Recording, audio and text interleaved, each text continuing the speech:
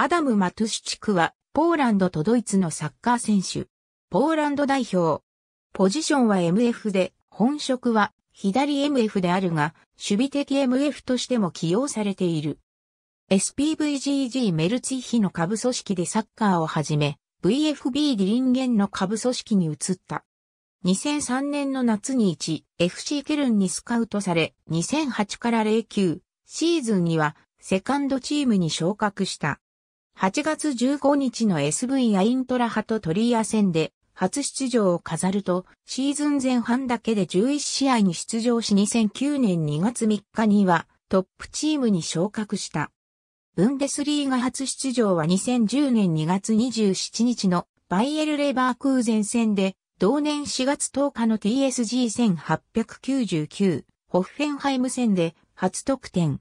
この試合で2得点を挙げてチームは0から2で勝利した。2012年1月には2ブンデスリーガのフォルトゥナ・デュッセルドルフにレンタル移籍した。2015年5月には3年契約でアイントラハとブラウンシュバイクに移籍した。2017年6月、母国のザグーエンビエルビンへ移籍した。2019年1月31日、KFC ユルディンゲン05に移籍した。ポーランド U-21 代表歴のある、彼は、ポーランド A 代表に2009年12月19日に、タイで行われる、キングスカップのメンバーとして初招集された。しかし、この大会は、国際 A マッチデーに行われる試合ではなかったため、クラブ側がこれを拒否した。